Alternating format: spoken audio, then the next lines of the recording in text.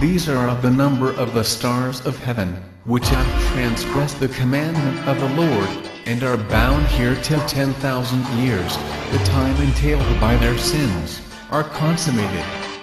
And from thence, I went to another place, which was still more horrible than the former, and I saw a horrible thing. A great fire there which burnt and blazed, and the place was cleft, as far as the abyss, being full of great descending columns of fire. Neither its extent or magnitude could I see, nor could I conjecture. Then I said, How fearful is the place, and how terrible to look upon! Then Uriel answered me, one of the holy angels who was with me, and said unto me, Enoch, why hast thou such fear and affright? And I answered, Because of this fearful place, and because of the spectacle of the pain. And he said unto me, This place is the prison of the angels, and here they will be in prison forever. Chapter 22 and thence I went to another place, in the mountain of hard rock. And there was in it four hollow places, deep, wide, and very smooth. How smooth are the hollow places and deep, and dark to look at. Then Raphael answered, one of the holy angels who was with me, and said unto me, These hollow places have been created for this very purpose, that the spirits of the souls of the dead should assemble therein, yea, that all the souls of the children of men should assemble here. And these places have been made to receive them, till the day of their judgment, until their appointed period, till the great judgment comes upon them. I saw the spirit of a dead man making suit, and his voice went forth to heaven and made suit. And I asked Raphael, the angel who was with me, and I said unto him, This spirit which maketh suit, whose is it, whose voice goeth forth and maketh suit to heaven? And he answered me saying, This is the spirit which went forth from Abel, whom his brother Cain slew, and he makes a suit against him, till his seed is destroyed from the face of the earth, and his seed is annihilated from amongst the seed of men. Then, I asked regarding it, and regarding all the hollow places. Why is one separated from the other? And he answered me, and said unto me, These three have been made, that the spirits of the dead might be separated. Such a division has been made for the spirits of the righteous, in which there is the bright spring of water. And such has been made for sinners, when they die and are buried in the earth and judgment has not been executed on them in their lifetime. Here their spirits shall be set apart, in this great pain, till the great day of judgment and punishment, and torment of those who curse forever and retribution for their spirits. There, he shall bind them forever. And such a division has been made for the spirits of those who make their suit, who make disclosures concerning their destruction, when they were slain in the days of the sinners. Such has been made for the spirits of men, who are not righteous but sinners, who are complete in transgression, and of the transgressors they shall be companions.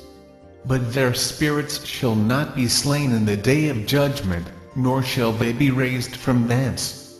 Then I blessed the Lord of glory and said, Blessed be my Lord, the Lord of righteousness, who reigneth forever. Chapter 23 From thence I went to another place to the west of the ends of the earth. And I saw a burning fire, which ran without resting, and paused not from its course day or night, but ran regularly. And I asked, saying, What is this which rests not? Then Raguel, one of the holy angels who was with me, answered me, and said unto me, this course of fire which thou hast seen, is the fire in the west which persecutes all the luminaries of heaven. Chapter 24 And from thence I went to another place of the earth, and he showed me a mountain range of fire, which burnt day and night. And I went beyond it, and saw seven magnificent mountains all differing each from the other, and the stones were magnificent and beautiful magnificent as a whole, of glorious appearance and fair exterior. Three towards the east, one founded on the other, and three towards the south, one upon the other, and deep rough ravines, no one of which joined with any other. And the seventh mountain was in the midst of these, and it excelled them in height, resembling the seat of a throne. And fragrant trees encircled the throne.